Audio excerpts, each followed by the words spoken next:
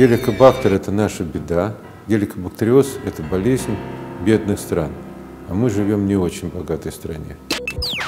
Все об этом молчат, но запорами страдает примерно треть населения Российской Федерации.